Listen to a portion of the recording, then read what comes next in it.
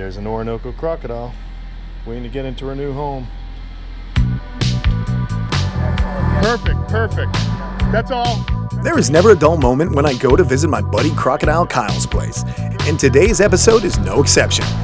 He recently added another rare species of crocodile to the collection at his amazing facility. All right. Croc one in. And we're gonna check up on these gals to see how they're making out in their new home.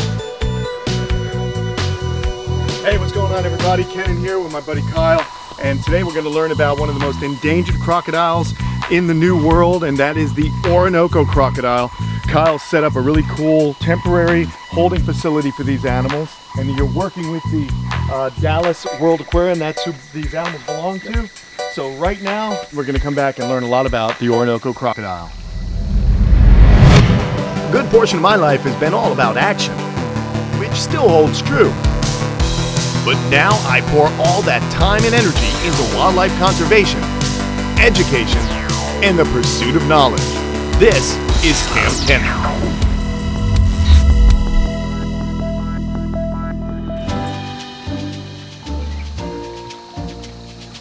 So what we have here are some very beautiful female crocodiles from the Orinoco River, the Orinoco crocodile. Kyle, man, how did these animals come to be in your care?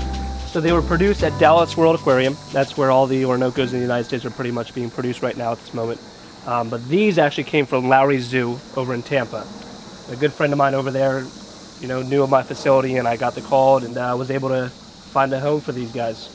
And so much like uh, you've seen in past episodes, what Kyle's doing is creating a, a facility that he can aid some zoological institutions in keeping these animals. So again, guys, this is just, uh, tell me about this enclosure. It's, it's a temporary enclosure, is. right? It is. Yep. So essentially, it's a quarantine enclosure.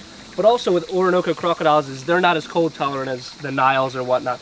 So you need to have smaller ponds because in the winter, I'm running that water at 76 degrees out of the well. Right. But if you have a large, large pond, you're going to lose that water temperature so quickly. So you have to have smaller ponds to retain that warm water for them. Gotcha. And yeah, I see some visual barrier right here, Yep. just just thrown up, and that's typical of most crocodilian species. It's always good to throw up visual barriers so you don't have any kind of dominance issues. Mm-hmm. Now these are four females. They are. Uh, will there be a dominant female?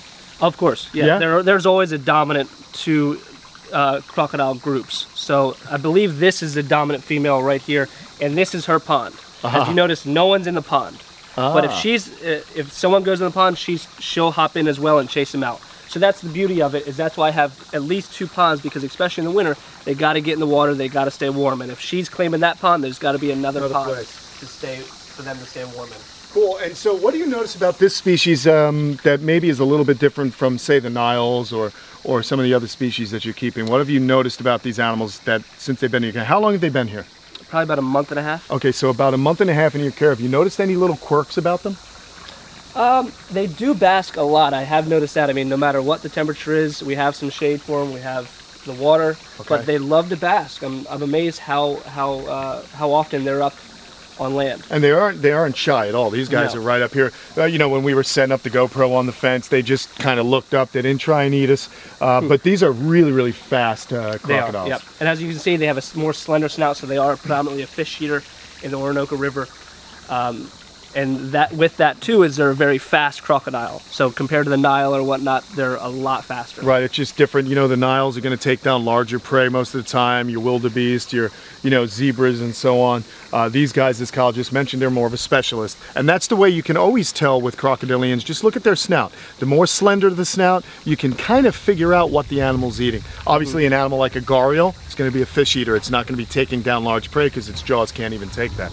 But these guys here, they're kind of in the middle. I mean, more fish eaters, but they still can take down some larger prey if they had to, huh? Of course, yeah, you can see it's it's not extremely slender like you said with the gharial or Tomistomas, um, but these these are definitely narrower than the Niles, which are taking down the huge stuff. Man, this is awesome. Now we were actually here when they offloaded them. I got a chance to to kind of help unload them.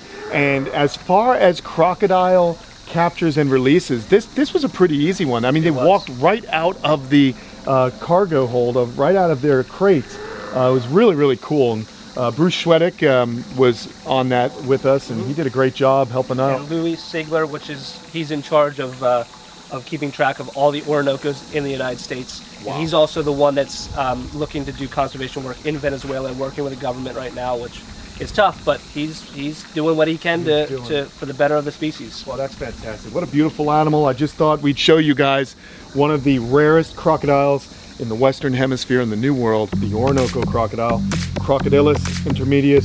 Uh, beautiful, beautiful animal. Thanks, Kyle. And again, guys, don't forget, in another few months, this is going to be overgrown with vegetation, uh, and then we've got all sorts of surprises in store, or actually Kyle does. So stay tuned for some more really fun Kamp Kenan episodes. We'll have Kyle on a bunch. Thanks, bud. Yeah, no problem.